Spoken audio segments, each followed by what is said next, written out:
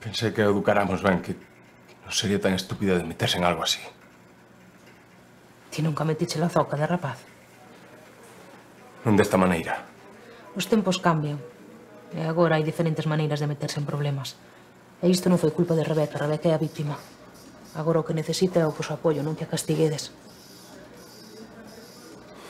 Sí, non. Hai máis. No disco duro hai máis fotos de outras rapazas parecidas ás de Rebeca. Polo que descubrín, David saiu con algunhas delas despois. Sabes a historia das fotos para ligar? As fotos é que ten un primo con contactos en axencias de modelos. Así as rapazas caían rendidas nos seus brazos.